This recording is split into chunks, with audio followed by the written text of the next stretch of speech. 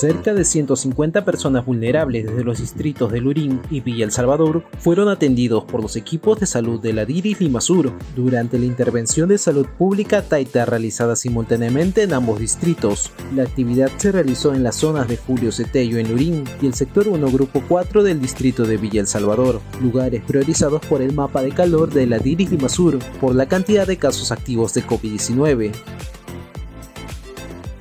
2.160 profesionales de la salud de los colegios de nutricionistas, biólogos y obstetras fueron vacunados contra la COVID-19 por la Dirigimasur. El personal de salud que labora en el ámbito privado fue protegido contra el coronavirus gracias a un trabajo en conjunto con los colegiados, quienes proporcionaron la lista de beneficiados. Sí, uno se va a sentir más tranquila, no confiada, pero sí mucho más tranquila porque ya tenemos dentro un medio de protección. contenta porque he recibido la primera dosis de la vacuna.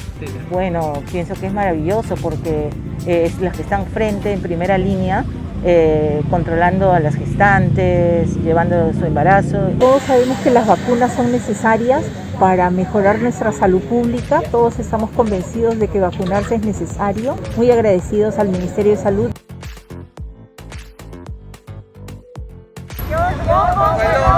Perú. La Dirigimasur recibió por parte del ONG Socios en Salud un módulo para la atención de pacientes con tuberculosis, VIH y afectados por la COVID-19 de la jurisdicción del Centro Materno Infantil José Galvez en Villa María del Triunfo. Esta donación se realiza en el marco del convenio de cooperación interinstitucional entre ambas instituciones. Este nuevo espacio amplía la atención a los usuarios y cuenta con camas clínicas, equipos multiparámetros y computadoras para realizar atención en telemedicina.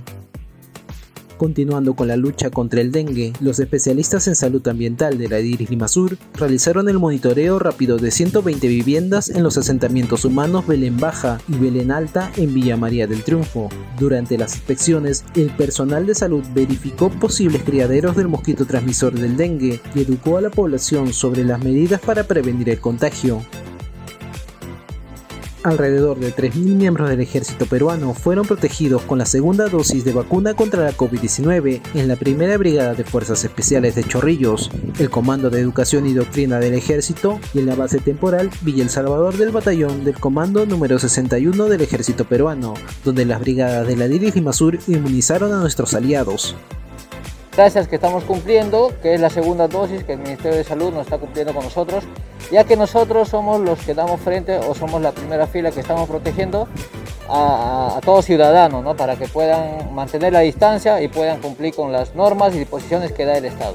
Yo, yo pongo el hombro por el Perú, con presencia del alcalde de Barranco, José Rodríguez Cárdenas, la Masur hizo entrega de pulsosímetros, mascarillas comunitarias y material educativo a 15 comités comunitarios de salud del distrito, quienes realizan dentro de su comunidad el monitoreo de posibles casos de COVID-19, dengue, tuberculosis, anemia, entre otras enfermedades, apoyando el fortalecimiento del primer nivel de atención.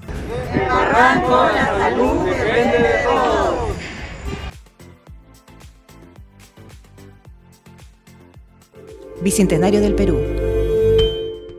Gobierno del Perú.